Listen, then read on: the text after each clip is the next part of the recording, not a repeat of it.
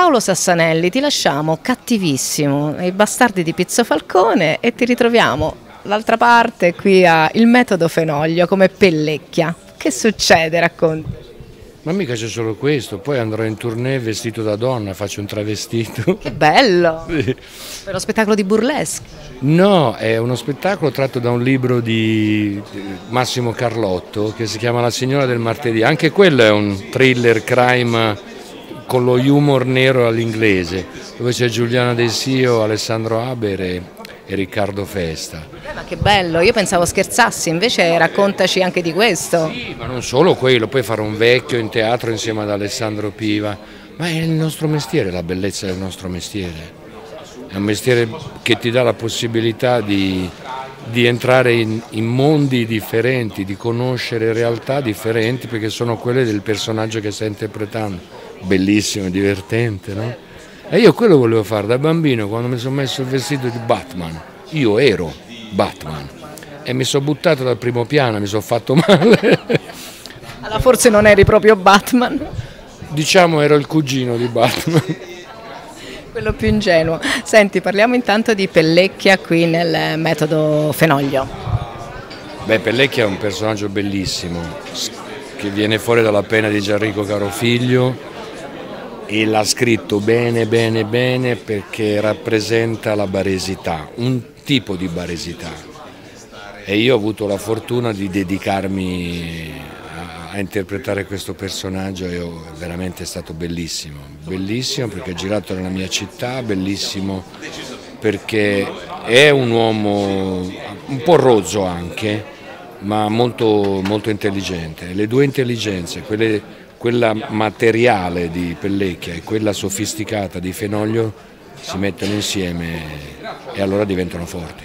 Sì, perché tu sei il suo braccio destro e lui invece ha tutto questo metodo etico, eh, morbido, no? per così dire, quindi ogni tanto vi, vi scontrate anche, forse è lui che, che, spesso ti sgrida. Sì, sì, io sono la mano ruvida e, e lui invece è la diciamo, è, l'essere arguto, la, la, essere sofisticato nel pensiero e nell'indagine. E queste due cose, però anche l'essere sofisticato ha necessità di, di materia e quella la fornisce Pellecchia. Mette Pellecchia. Senti com'è questa Bari degli anni 90 dove la criminalità si sta organizzando ma sembra non volersene accorgere nessuno se non appunto il maresciallo Pietro Fenoglio? Allora, la... chi non conosce Bari di quegli anni entrerà in un mondo, in un mondo sorprendente perché era un periodo particolarmente vivo ma anche scuro, cupo. E noi l'abbiamo vissuta quegli anni, sappiamo che cosa vuol dire, che cos'era. Bari era, doveva decidere se essere una città, che è esattamente quello che è diventato adesso, aperta, curiosa, culturale, eh, ospitale, oppure essere un buco nero della, della criminalità. Poteva, poteva, poteva, diventare questo. E il metodo Fenoglio racconta proprio quel momento lì. Questa scelta, diciamo, questo bivio.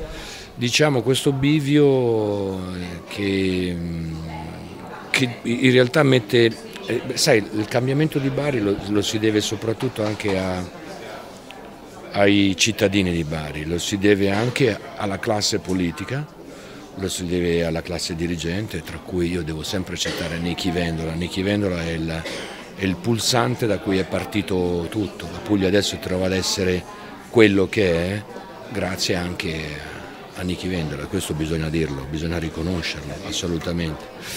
E quindi in quel punto, in quegli anni lì si racconta proprio quello, perché subito dopo arriverà appunto Nichi con le sue proposte, con il suo sguardo attento, attento alla cultura, allo sviluppo, al rispetto e, e adesso la Puglia è bellissima, diciamo che ce rassegnatevi, siamo la regione più bella d'Italia.